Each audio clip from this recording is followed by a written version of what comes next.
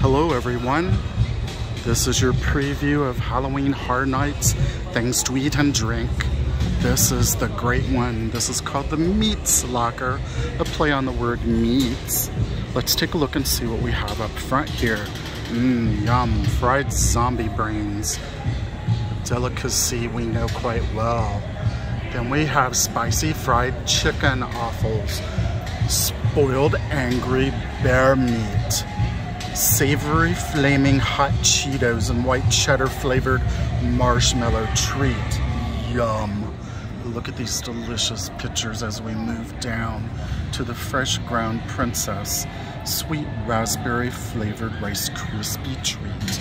And then we have traditional Bloody Marys, more Voodoo Brewing Company, and your basic sodas. Lots of good treats at the meats. Let's take a walk down this alley and see what there is to see. Again, this is a preview of what's coming to Halloween Horror Nights, beginning on September the 2nd and running through October 1st. Here we are coming up to the meat counter. My, look at all this fresh raw meat.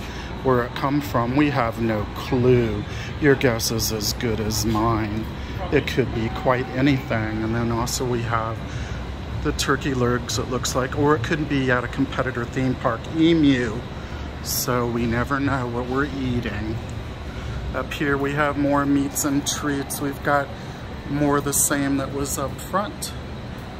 My favorite, the fried zombie brains with fried cauliflower, Florets Tyston spicy sauce, and garnished with toasted sesame seeds and scallions.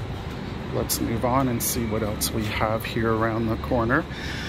Nothing right now, but I guarantee you in a couple of nights there'll be something there to scare you to death, especially popping out of this secret spot. Oh, what do we have over here? More specialty cocktails, the Bloody Mary again, and more, guess what? Voodoo Brewing Company, more meat hanging. What's that, another piece of emu? Hmm, never know. Hidden back here, corners for things to jump out and fright you. Here we have do not enter. Hmm, why would that be? Do not enter. Again, this was a preview of the meats alley section of Halloween Horror Nights.